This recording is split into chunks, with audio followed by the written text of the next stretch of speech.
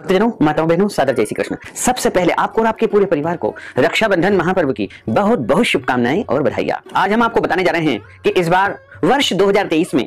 राखी बांधने का शुभ मुहूर्त कब से कब तक रहेगा? भद्रा का समय कब से कब तक रहेगा? तथा व्रत की पूर्णिमा कब रहेगी? एवं पूर्णिमा तिथि कब से कब तक रहेगी? श्रवण नक्षत्र कब रहेगा? और राखी बांधने का श्रेष्ठ दिन, श्रेष्ठ समय कब रहेगा? हमारे सनातन धर्म में रक्षाबंधन के महापर्व का बहुत विशेष महत्व माना जाता है। इस महापर्व का इंतज़ार सभी भाई और बहन बहुत बेसब्री से करते हैं। ये पर्व विशेष रूप से भाई, बहन और उनके रिश्तों को समर्पित है। इस दिन सभी बहनें अपने अपने भाई के दाहिने हाथ की कलाई में शुभ मुहूर्त में रक्षा सूत्र बांधती है। इसके साथ ही वो अपने भाई की अच्छी सेहत और लंबी आयु की कामना करती है।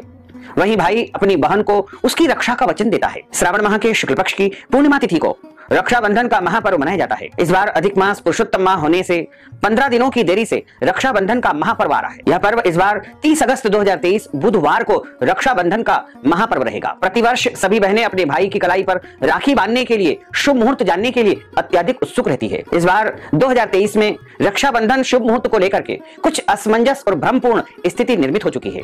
इस वर्ष 2023 में रक्षाबंधन का महापर्व, वैसे तो 30 अगस्त 2023 बुधवार को ही मनाया जाएगा। लेकिन पूर्णिमा तिथि का आरंभ सुबह 30 अगस्त 2023 को दस बज के मिनट पर हो जाएगा, जो कि अगले दिन, यानी 31 अगस्त 2023 की सुबह सात बजकर के छह मिनट पर पूर्णिमा तिथि समाप्त हो जाएगी। इसी तरह जैसे ही 30 अगस्त 2023 को सुबह पूर्णिमा तिथि लगेगी, वैसे ही 30 अगस्त की सुबह पूर्णिमा के लगते ही भद्रा काल शुरू हो जाएगा। भद्रा एक प्रकार का विष्टि नामक जो करण होता है, उसे कहा जाता है। भद्रा काल का आरंभ 30 अगस्त की सुबह दस बज के मिनट से होकर के 30 अगस्त की रात्रि नौ बजकर के दो मिनट तक रहेगा।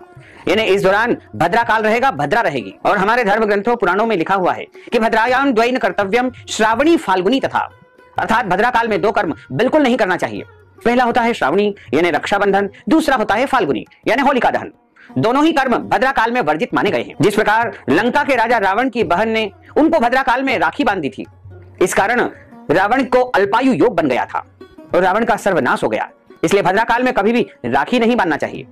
इससे घर परिवार में बड़ी हानि होने की संभावना रहती है। राखी बांधने के समय इस बार पंचक रहेगा। पंचक पूरे दिन रहेगा। क्योंकि श्रवण नक्षत्र तो एक दिन पहले ही यानी उनतीस तारीख की रात को ग्यारह बजे ही समाप्त हो जाएगा।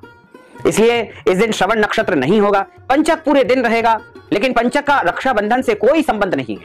पंचक में किसी भी प्रकार से राखी बांधने का वर्जित नहीं माना जाता है। लेकिन भद्राकाल के दौरान आपको राखी नहीं बांधना है। यानी तीस तारीख को सुबह दस उनसाठ तक चौदह तिथि है। चतुर्दशी तिथि को रिक्ता तिथि माना गया है। और रिक्ता तिथि में भी राखी नहीं बांधी जाती है। क्योंकि दस उनसाठ से रात को नौ बज के दो मिनट तक भद्राकाल रहेगा, इसलिए भद्राकाल में भी आपको राखी नहीं बांधना है।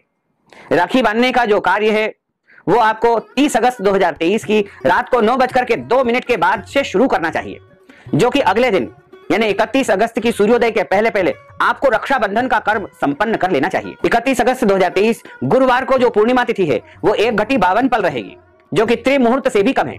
अतः इस दिन भी राखी नहीं बांधना है। 30 अगस्त 2023 बुधवार के दिन भद्रा से मुक्त जो सर्वोत्तम शुभ मुहूर्त रहेगा, श्रेष्ठ समय रहेगा। वो रात को नौ बजकर के दो मिनट से लेकर के 31 अगस्त, गुरुवार की सुबह सूर्योदय के पहले यानी छह इक्कीस के पहले पहले आपको राखी बांधने का कार्य संपन्न करना होगा। क्योंकि जब भी कोई शुभ कार्य संपादित किया जाता है तो उस कार्य में शुभता में वृद्धि होती है। भाई बहन के रिश्तों को अटूट बनाने के लिए इस समय राखी बांधने का कार्य आपको करना चाहिए। राखी बांधने का श्रेष्ठ समय 30 अगस्त की रात को नौ बजकर के दो मिनट से लेकर के 31 अगस्त की सुबह छह इक्कीस तक ही रहेगा। इस दौरान सभी बहनें अपने अपने भाई की दाहिनी हाथ की कलाई पर राखी बांधेगी। जब रक्षाबंधन का कार्य किया जाता है तो उस दौरान अपने भाई को एक चौकी पर पटे पर बिठा करके, उसके सिर पर रुमाल रख करके या टोपी पहना करके सर्वप्रथम उसका तिलक करे और तिलक करने के बाद उसके दाहिने हाथ में एक नारियल रखे और दाहिने हाथ की कलाई पर राखी बांधे। उसके बाद भाई की आरती उतारे और उसको मिठाई खिलाई और जो नारियल होता है, वो भाई को दान दिया जाता है। यदि भाई दान में नहीं ले तो किसी भी मंदिर में या पंडित जी को वो नारियल आप प्रदान कर सकते हैं। रक्षाबंधन के दिन सभी सर्वप्रथम देवी देवताओं को भगवान को राखी बांधते हैं। ऐसे में कई भक्तजनों का एक प्रश्न आ रहा है, क्या भद्रा काल में भगवान को राखी बाँध सकते हैं क्या? तो इसका जवाब हम आपको देते हैं कि भगवान को राखी बांधने का कोई दोष नहीं है। आप देवी देवताओं को सुबह जब पूर्णिमा का पूजन अर्चन करेंगे, क्योंकि 30 अगस्त 2023 को ही व्रत की पूर्णिमा है। चंद्रोदय व्यापिनी पूर्णिमा भी इसी दिन है। इसलिए जब हम 30 अगस्त को पूर्णिमा का पूजन अर्चन करेंगे, तभी उसी समय भगवान को राखी अर्पण कर देंगे। यानी भगवान को राखी बाँध देंगे। भगवान को भद्रा में राखी बांधने का कोई दोष नहीं है। वो तो काल निर्णय के जो है, स्वामी है, कालों के काल है, और सभी प्रकार का मुहूर्त का निर्माण ही वो करते हैं। इसलिए पर ब्रह्म परमात्मा को भद्रा काल में या किसी भी समय आप राखी बाँध सकते हैं, उसका कोई दोष नहीं है। लेकिन अपने भाई को गलती से भी आपको भद्रा काल के दौरान राखी नहीं बांधना है। इकतीस अगस्त को पूर्णिमा रहेगी, लेकिन व्रत की पूर्णिमा तीस अगस्त को ही रहेगी, जो कि इस दिन श्रावण माह का समापन हो रहा है। इसलिए श्रावण माह से संबंधित जो भी समापन के कार्य है, वो आप इकतीस तारीख को भी संपन्न कर सकते हैं। आप चाहें तो तीस तारीख को भी पूर्णिमा है और उस दिन भी आप श्रावण माह का समापन का जो कार्य है, वो संपादित कर सकते हैं। तो भक्तजनों माताओं बहनों, हमने जो ज्ञानवर्धक जानकारी आपको प्रदान की है, उसको आप अधिक से अधिक लोगों को शेयर करिएगा लाइक करिएगा कमेंट करिएगा। और यदि अभी तक आपने सब्सक्राइब नहीं किया है तो अभी और इसी समय सब्सक्राइब कर लीजिए, ताकि इसी प्रकार की ज्ञानवर्धक वीडियो आपको सबसे पहले प्राप्त हो सके। आपको और आपके पूरे परिवार को सादर जय श्री कृष्ण, सादर धन्यवाद।